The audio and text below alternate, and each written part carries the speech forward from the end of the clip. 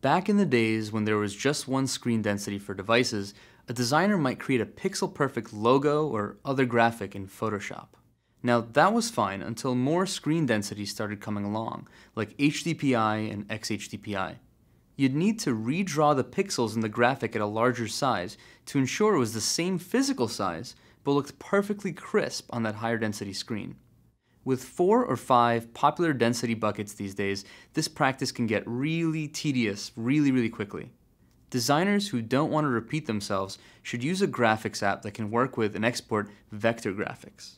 Apps like Photoshop and GIMP are geared primarily to working with raster graphics.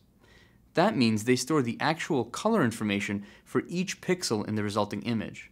Those raster images can be scaled down with no problem, but you start to see blurring and other bad artifacts when you enlarge them. Vector graphics apps like Inkscape, Illustrator, and Sketch instead store information about the individual shapes in the image, for example the center and the radius of a circle. So you can scale the image up or down without any loss of quality. The shapes will just be drawn at a larger size. While Photoshop lets you work with vector graphics too, Illustrator and Sketch actually let you export your graphics to vector formats like SVG or Scalable Vector Graphics.